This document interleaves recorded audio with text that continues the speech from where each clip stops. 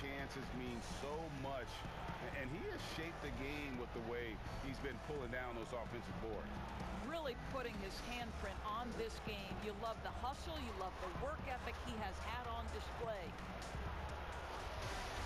And after a very lopsided first half, we'll see if things play out a little more evenly here in the second.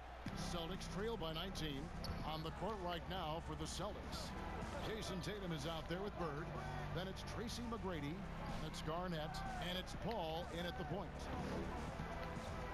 Back to Garnett. The shot comes out. Mutombo is a nice D. 16 feet away. Wade misses.